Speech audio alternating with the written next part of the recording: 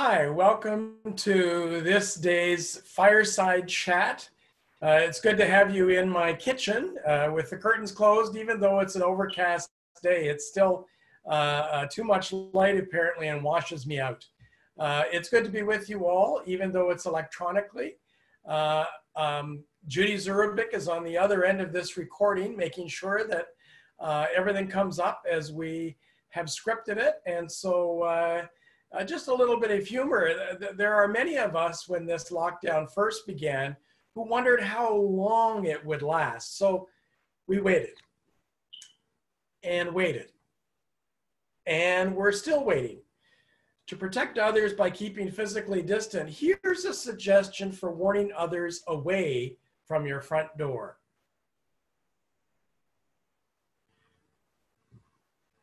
For those of us enjoying home cooking, Here's another suggestion.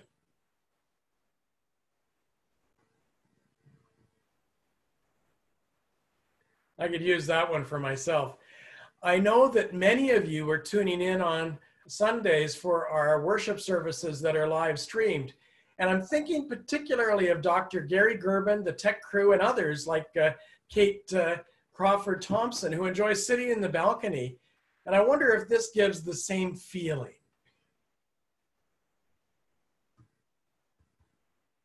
Of course, with the currently much reduced industrial activity and significantly reduced travel, now this may be possible.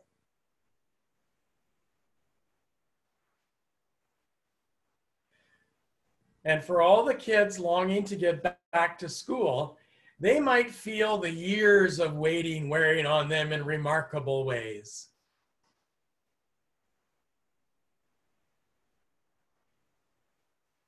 Oh, sorry. Uh, that this is where we think we've got far too much time on our hands. And this slide, I, I misread my own script, is for those who, who the kids think that they've been waiting for years and years and years to get back to school. There are some students that I bet are feeling the opposite of getting too old Instead, they might be feeling like they've lost out on some of their exciting experiences. I've been thinking particularly of those in our congregation who are graduating from high school at the end of this school year.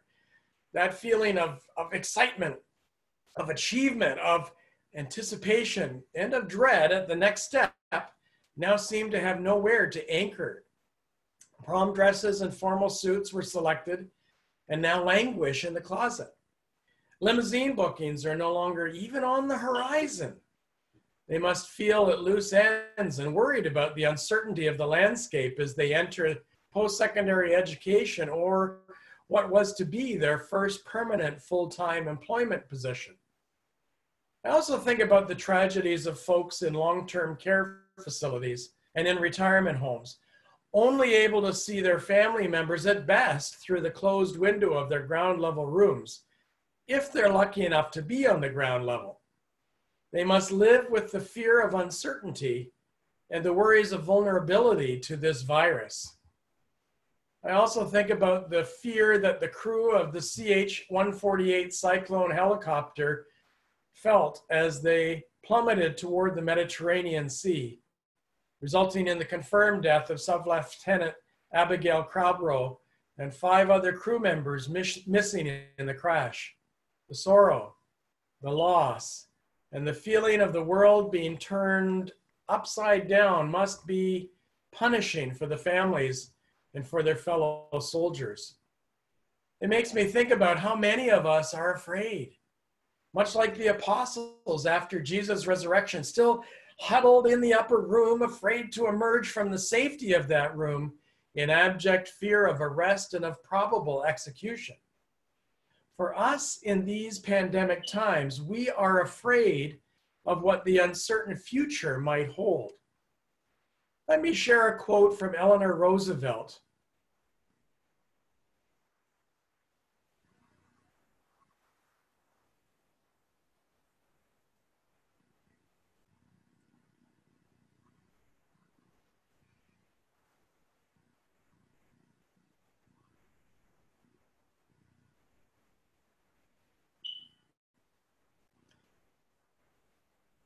You see, when we face our fear, that is when we discover God, who's been there all along. God is the source of the love which sustains us even in our fear. In fact, as the Apostle Peter writes in his first letter, pure gold put in the fire comes out of it proved pure. The forge of fear, when faced, forces us to perceive God's love as the ground of our very being, without which we would have no roots and no soil to nourish us. Along with our fear, so many other emotions flood our hearts. You notice all of the ones that are there. How many of these emotions have you felt over the past number of weeks? Or for, in fact, even in the last couple minutes? You see, there is nothing wrong with any of those feelings, and there's nothing wrong if you don't feel any of these emotions. Whatever you feel, those feelings just are, and we do the best to embrace and to live with them. That's when we search for a secure place of healing.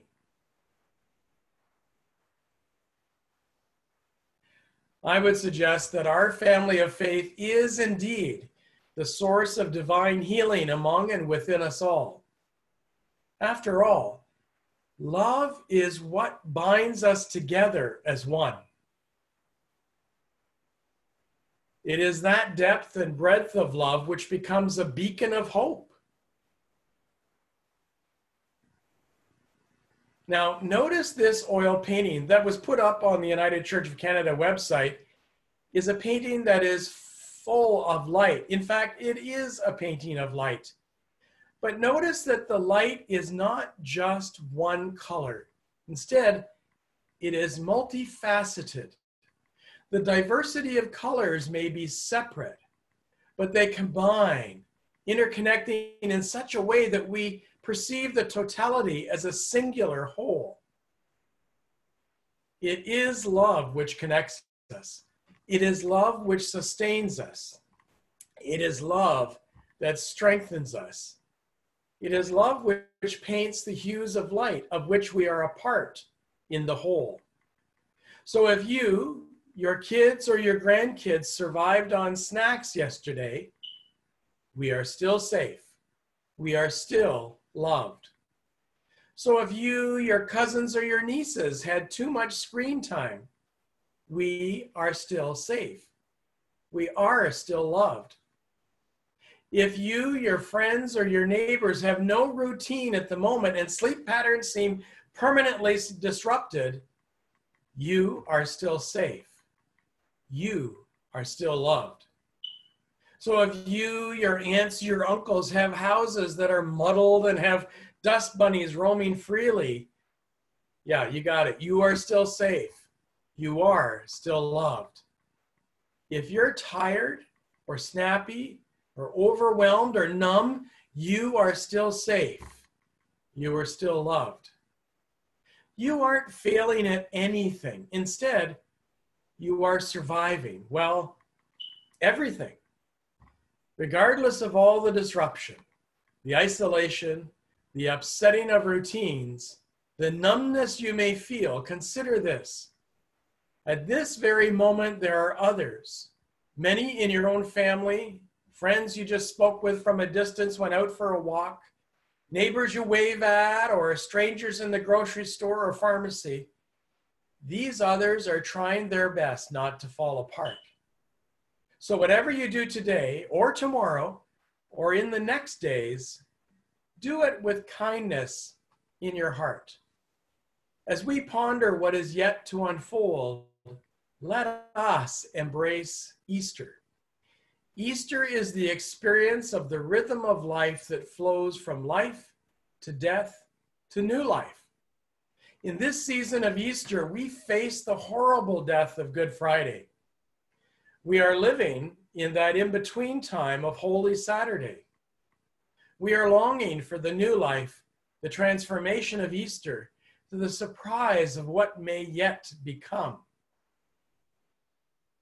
So when you think about this particular slide, maybe, just maybe, we don't want to go back to what was. Now is the time to ponder how we might transform our world and ourselves for what we may become. For our prayer time, I would like to offer a video of Heather Rankin and Kim Dunn performing the song Safe Home, Sweet Light, originally composed by Laura Smith. This song was first written in tribute to a family member who died in a coal mine cave in. It is a song of longing and of tenderness.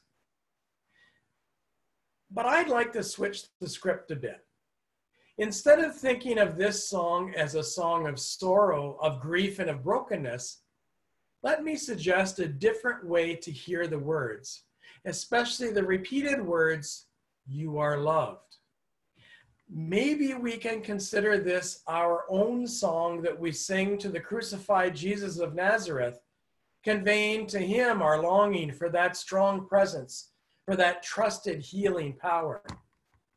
Or perhaps we can hear these words as the risen Christ assuring us in the midst of our uncertainty of calming us in the middle of our fear and of accompanying us in our dislocation.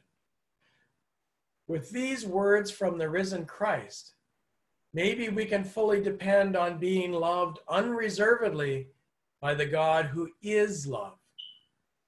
However, you hear the words of the song, let us pray through this video.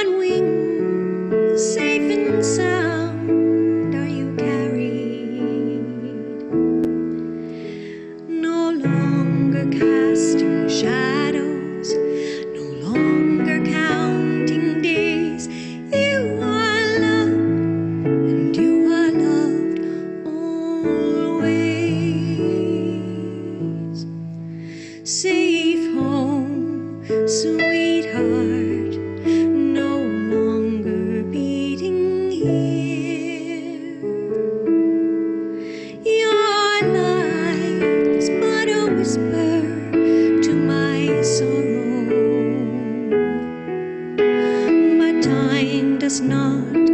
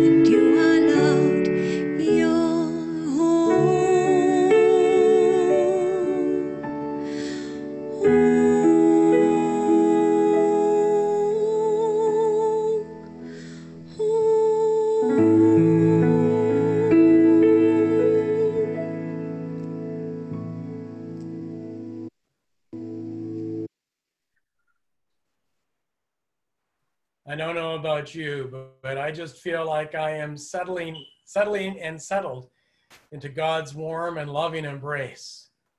That all will be well, as Julian of Norwich once said, and all will be well. Well, this is the end of our fireside chat until we meet again next week. Uh, these fireside chats take place uh, twice a week and they are available uh, on our website at uh, kincardineunitedchurch.org. Uh, or you can find them on uh, our YouTube channel. Just go to YouTube and uh, enter into the search engine Kincardine United Church Ontario on the YouTube channel, and our uh, our videos that are saved to there will come up right away, and you can take your choice, including some of the recorded services from the last month. The blessing I'd like to leave you with is taken from our Voices United hymn book, number 319. It is attributed to St. Patrick in the 13th century. God be in your head and in your understanding. God be in your eyes and in your looking. God be in your mouth and in your speaking. God be in your heart and in your loving. God be at your end and at your departing. Until next time, God bless you all. Amen.